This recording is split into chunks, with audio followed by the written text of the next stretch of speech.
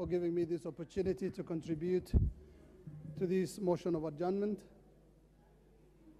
I think for the last couple of hours we've been treated to heated arguments on the floor of the House, where we've observed every, both, I mean, the sides of the House sticking to their guns. But I believe when it comes to the, the debate on these demonstrations, we need to take a step back and look at actually what, it has, what is at stake at this point in time and at this point in Kenya's history.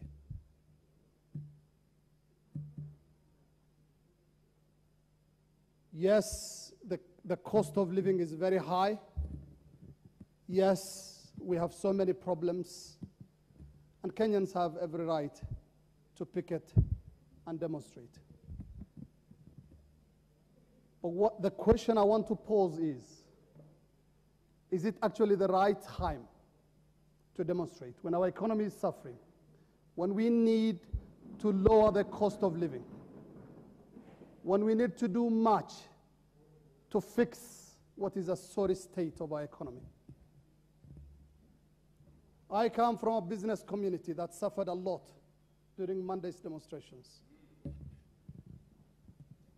And we lost one Kenyan's life. I would like all of us to think critically about where our country is at this point in time. And let patriotism reign. I have covered demonstrations and riots and street demos and all kinds of picketing uh, in many parts of the world as a journalist. There are many ways to show your dissatisfaction. But stopping business in two of the most important business districts in the country at this time when we need to fix our economy, I believe is not being patriotic.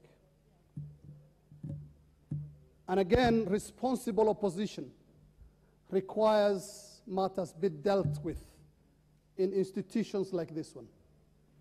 I would therefore like to appeal to my party Azimio to rethink these demonstrations for the sake of Kenya and Kenyans at this critical time when we need to do a lot.